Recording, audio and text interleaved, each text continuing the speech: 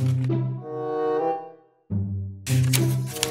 Chers apprentis sorciers, nous avons le plaisir de vous informer que vous avez été accepté à l'école de sorcellerie de la JL, Freddy Fautou, école de sorcellerie. J'ai reçu cette lettre d'admission de la part du club de Bourg-en-Bresse, c'est pour la simple et bonne raison que le 29 octobre dernier, j'ai eu la chance et le privilège d'être invité par le club de la JL Bourg-en-Bresse, club évoluant dans la plus haute division française de basketball, la Betclic Elite, pour assister à un match de gala face aux Metropolitans, équipe de Vincent Collet, Wemba Nyama, Laou Konaté, Armel Traoré. Ce match avait été organisé quelques jours avant la fête d'Halloween et c'est pourquoi le club avait décidé de prendre les devants en organisant une soirée autour du thème des sorciers. Dans ce vlog, je vais vous emmener avec moi au bord du terrain. On va interagir avec différents intervenants, différents acteurs du bon fonctionnement du club de Bourg-en-Bresse. Merci à tout le staff du club de Bourg-en-Bresse, les joueurs qui m'ont offert un accueil incroyable. Merci à Alexandre Chassan et toute l'équipe de la GL Bourg-en-Bresse pour ce maillot dédicacé qui sera dans mon futur setup quand j'aurai déménagé. Merci à toute l'équipe parce que franchement ce maillot, il est incroyable.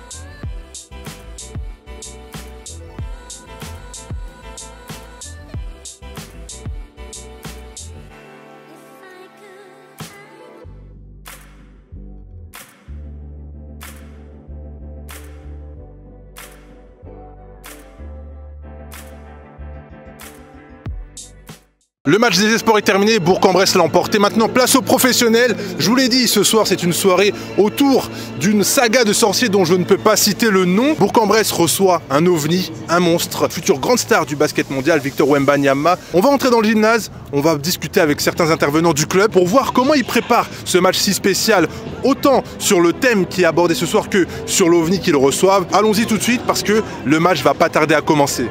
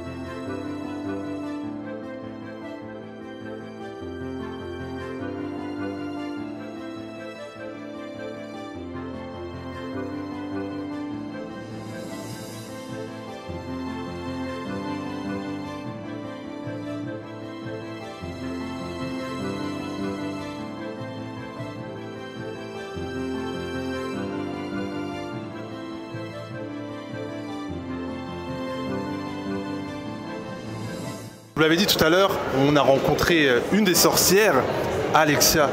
Tu es la community manager du club de Bourg. Comment ça va? Euh, dans le rush, mais euh, ça va bien, on pète la forme, on est positif et on a vraiment hâte que, ça, que le match ait lieu. Là, tu cours partout, là Ouais, je, je vole avec mon Imbus 2000 même. Il y a l'événement d'Halloween, mais en plus, il y a euh, un ovni qui est là aujourd'hui avec Kinox. Comment on prépare ce genre d'événement? Euh, bah, Comme on peut. Euh, Harry Potter, c'est prévu depuis de longs mois. on a commencé déjà à tout commander et à mettre en place un mois, il y a deux semaines, puis une semaine. c'est un peu le rush parce qu'il y a toujours des imprévus. après, par rapport à Victor, c'est vrai qu'on nous a signalé il y a quelques jours qu'il y avait déjà eu beaucoup de monde, beaucoup de masse qui venaient avant les matchs ou après le match sur le terrain. Donc euh, on, a, on a pris la sécurité nécessaire euh, pour pas que ça, parte euh, en cacahuète. Quand on est CM, on n'est pas que sur Twitter ou Instagram Pas du tout. Euh, nous, on est trois, on est trois titulaires. On a aussi un alternant. Euh, moi, je m'occupe de tout ce qui est euh, donc réseaux sociaux, mais aussi la production vidéo, graphisme et, et photo. Manon, elle, elle est plus en tout ce qui est en relation presse. Elle m'aide aussi sur la production. On a aussi mon chef, donc directeur marketing et communication Loïc, lui qui chapeaute aussi toutes les opérations, mais qui met aussi la main à la pâte. Et on a Baptiste euh, qui est plus dans, les vidéos qu'on veut faire progresser. Euh, je pense qu'on a un club qui est très bien structuré, mais euh, on peut faire encore mieux parce qu'en fait, on est constamment débordé et en jour de match, on a d'autres casquettes qui sont bah, la régie, qui sont plein d'autres choses. Et donc non, je suis pas que sur Twitter. Bon bah bon courage pour ce match alors. Merci, j'espère qu'on va gagner.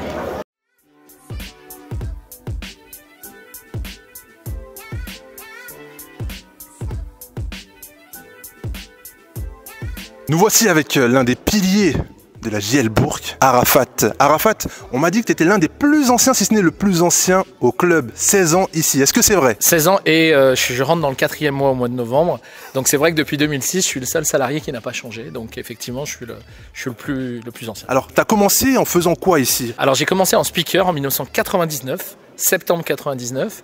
Et là, c'est la 24e année. Je suis toujours là. Et en 2006, je suis devenu team manager. Donc, euh, j'en parle tout le temps, mais c'est Laurent Tissot, euh, l'ancien général manager du club, qui m'a embauché deux fois en speaker et en salarié. Quelles sont les qualités pour être un bon speaker? Un, faut pas avoir le trac. Deux, faut pas avoir peur de parler devant 3, 4, 5 000 personnes. Trois, après, faut être, faut être fluide. Hein, parce que quelqu'un qui bégaye, forcément, ça va être un peu plus compliqué, comme je viens de faire là, par exemple. Mais euh, les qualités, c'est euh, d'être cool aussi. faut être cool parce que t'es speaker, euh, il y a beaucoup d'improvisation.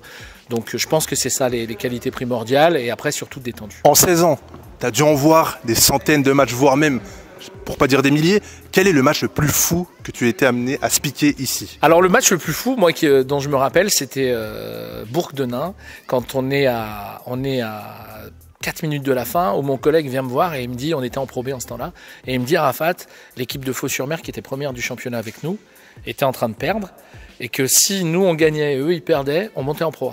Et donc à ce moment-là, il reste 3 minutes, on a égalité avec Denain.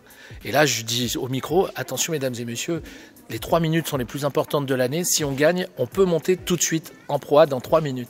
Et là, la salle, fire. Même les joueurs se sont arrêtés de jouer en me regardant qu'est-ce qu'il fait, qu'est-ce qu'il veut, parce que j'ai pas le droit de dire ça normalement. Et du coup, on gagne euh, après trois lancers francs, 88-85 au buzzer quasiment. Et là, on monte en proie ce soir-là, et c'était la fiesta, je m'en rappellerai toute ma vie. Là, on accueille peut-être un extraterrestre ce soir. Comment tu prépares ce genre de match? Est-ce qu'il y a eu une préparation spéciale pour ce soir ou pas? Non, non, non, on reste sur les, sur les mêmes matchs. Après, la préparation était spéciale du coup du contexte, parce qu'on a une soirée Halloween sur le thème, euh, on va dire, euh, de la saga Harry Potter, hein, euh, là-dedans, même si on n'a pas trop droit de citer. simplement, on n'avait pas calculé quand on avait dit Halloween, on savait pas que c'était Levallois et Victor Wembanyama. C'était le match avant le 31 octobre. Et ça tombe sur euh, Wembanyama, euh, Levallois, guichet fermé depuis une semaine, la frénésie qui s'empare avec euh, la NBA qui veut euh, regarder les matchs et qui va filmer, du moins qui va reprendre les images ce soir et qui sera le premier match qui sera repris sur le NBA Pass. Donc c'est vrai que pour nous, c'est un moment, on va dire historique, mais on s'y attendait pas. Quoi bah, ça tombe à pic et du coup j'espère que tu vas mettre le feu à la salle ce soir. Ah bah là euh, j'ai la pression parce que toi tu me demandes de mettre le feu. Le coach mardi, euh, mercredi m'a demandé de mettre le feu. Tout le monde me demande de mettre le feu. Évidemment c'est l'objectif de mettre le feu.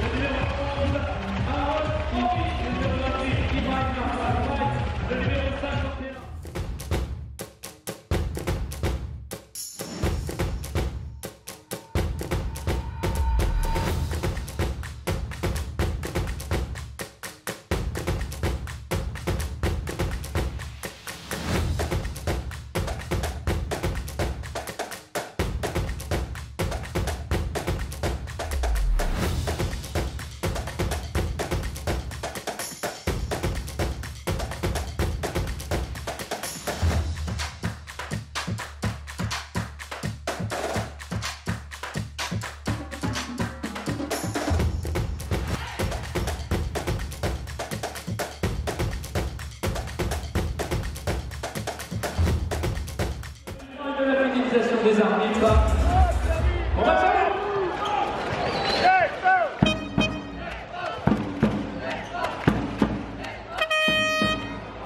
On est dans le premier carton. 12 à 11 pour Bourg pour le moment. Une grosse ambiance, grosse ambiance. Guichet fermé. Et vous comprenez joue plutôt Ils sont un peu en délicatesse les joueurs des Metropolitans pour le moment. En manque d'adresse, beaucoup de pertes de balles.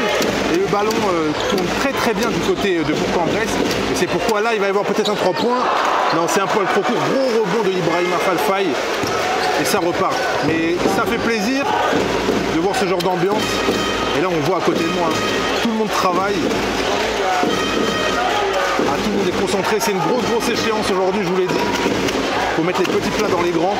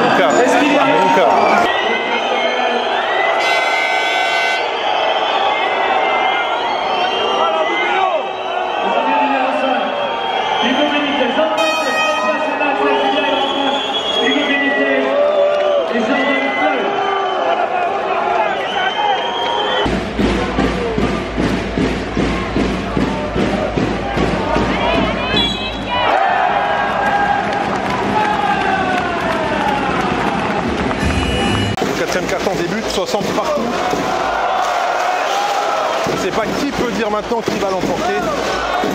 Le troisième carton était euh, au départ à l'avantage de Bourg-en-Bresse, mais ils ont eu un petit passage à vide qui a profité au coéquipier de Wemba Nyama. Allez, on est à Bourg-en-Bresse, on va dire victoire de Bourg-en-Bresse. Rendez-vous dans 15 minutes.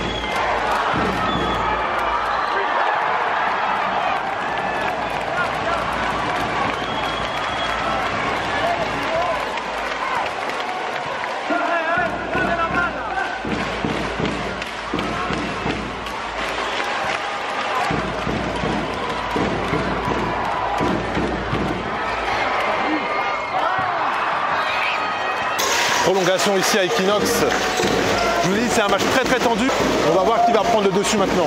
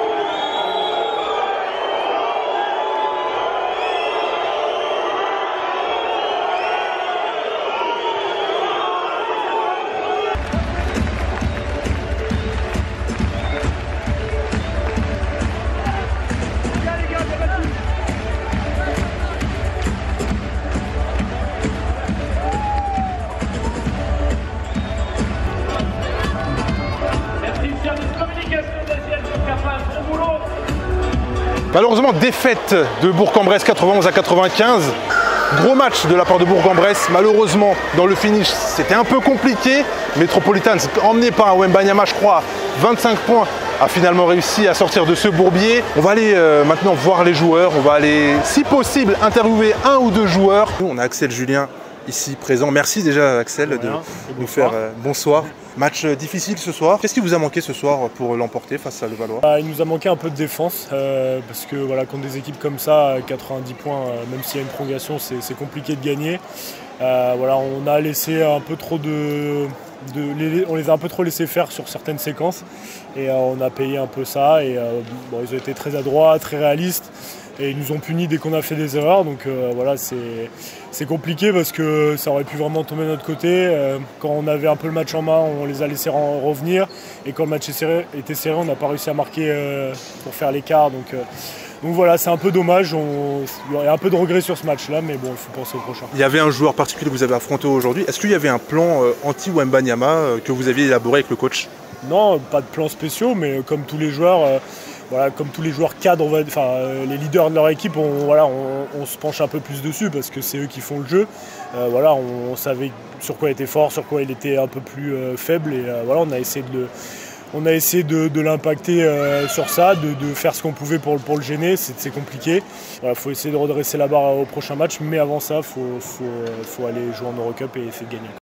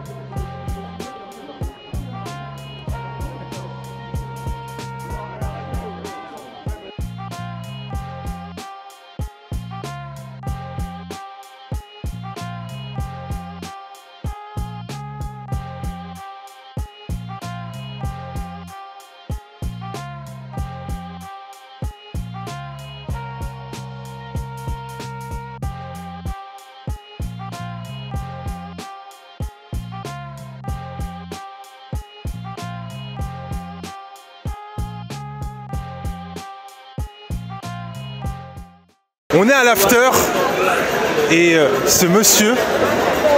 Tu peux juste me répéter, euh, me répéter ce que tu as dit juste avant? Alors je viens de dire que tout à l'heure, quand j'arrive sur le terrain pour m'échauffer, j'ai croisé son regard et je me suis dit, mais j'ai vu cette personne quelque part. En fait, euh, je me suis rendu compte que je l'ai vu sur les vidéos de Florent Honner parce que je suis ça de fou. Et je vois que c'est un très grand mangeur. Eh, Là, franchement, je suis arrivé, j'ai déglingué le buffet. hein. Ah, c'est vrai que c'est plutôt pas mal l'après-match. Donc euh, faut profiter hein. Ah bah ouais. Eh ben qui sait pourquoi pas un jour on organisera une rencontre avec Florian air pour. euh, Moi je suis preneur, hein, j'aime beaucoup ces vidéos donc. euh, T'es plus kebab ou tacos? Moi, jet, sportif, on est sportif ici. Non non en vrai, en vrai de vrai. en Ah, vrai. en vrai de vrai. Kebab, je suis parisien. Kebab, ouais, de parisien. ouf, de ouf. Merci beaucoup en tout cas. Et dédicace à Florian air si tu nous regardes. Casse à flot. Et continue tes vidéos, j'aime bien.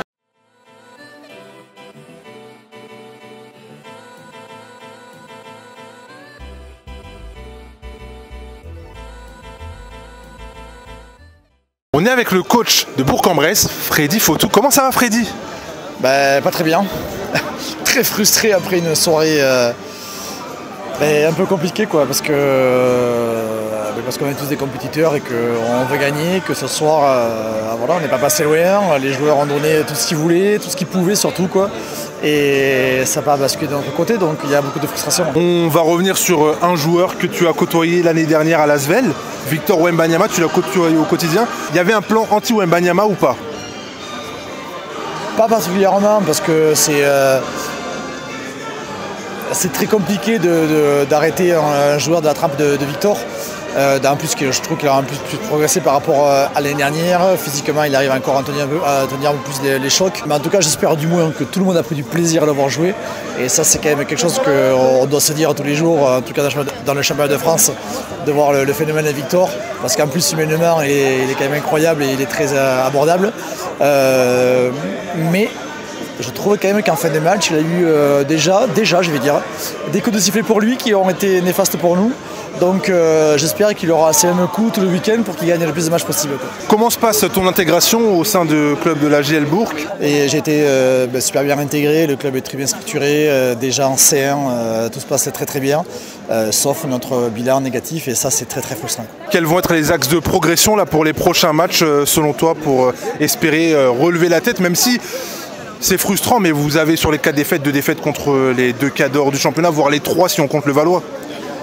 Bah, disons que l'axe de progression, c'est sûr qu'on doit gagner beaucoup euh, en maturité très vite parce que ça fait deux fois, il y a Monaco ici où elle a de l'avance et euh, ils sont rattrapés, euh, on se fait dilapider notre avance trop vite et trop facilement. Donc là, c'est vraiment le vrai axe de progression parce que comme j'ai dit, le, le top 8 est un, euh, un objectif très très important et on doit absolument la- l'acquérir. Eh ben parfait, bah, on te souhaite une excellente saison Freddy. On te souhaite beaucoup de réussite et on espère revenir avec des grandes victoires ici à Equinox. C'est la fin du vlog, c'était une excellente soirée. Encore merci au club de Bourg-en-Bresse qui m'a permis de vivre cette expérience incroyable, de vous partager des images en inside, de parler avec différents euh, intervenants et cadres de ce club. Merci à tous d'avoir suivi le vlog jusqu'à la fin. Le pouce vers le haut, on se retrouve très bientôt. Et comme on dit chez moi, God bless. Peace